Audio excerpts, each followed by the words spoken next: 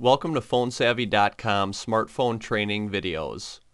Learn more about the LG Spectrum at our website, PhoneSavvy.com. To check your voicemail on the LG Spectrum without having to enter in your PIN code each time, from your home screen select the menu button located at the bottom left corner of your phone, and then select Settings. Now choose Call Settings located here. Select Voicemail Settings,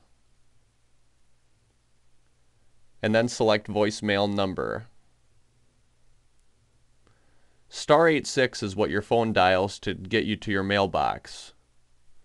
What we want to do from here is insert pauses, which will be a two second delay, and then you can enter in your PIN code so that it will automatically do it each time.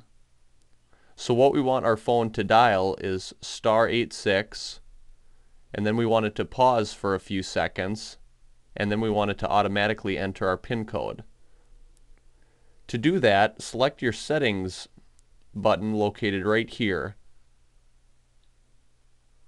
We now have the option to insert a pause.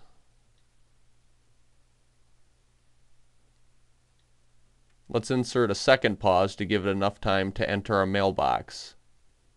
Now we can go back to our numbers by pressing the 123 button and then enter in your security code for your voicemail. When you are done, press the OK button and your new voicemail box number will be saved. The home button will take you back to your home screen.